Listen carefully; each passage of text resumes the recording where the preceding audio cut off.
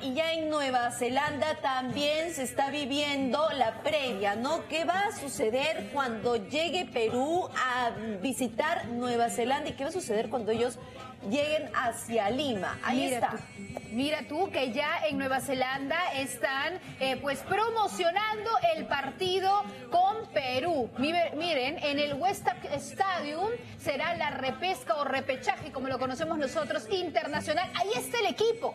Ahí está el arquero que no nos ha dejado con buena sensación porque dijo, yo esperaba esto, que Perú llegue al repechaje porque Perú es facilito. Quiere verse cara a cara con Paolo Guerrero. Ahí está Christian, Chris Wood, de 25 años nada más, que es el goleador de esta selección neozelandesa. Winston Reid, defensor también muy conocido en las ligas europeas. Monty Patterson, delantero también, que ahora se enfrentarán a nuestra bicolor. Además ah. tienen al goleador de las eliminatorias en Oceanía. Al goleador. Entonces, así como que tan fácil, fácil, de repente no la tenemos. Pero no imposible. Pero no imposible. Ah, ahí está entonces en el Westpac Estadio, ¿no? Ahí es donde se va a dar el encuentro el 6 de noviembre, como nos lo comentaba aquí Franco Lostanao, ¿no es cierto? 6 de noviembre será el partido allá en Nueva Zelanda y luego el 14 de noviembre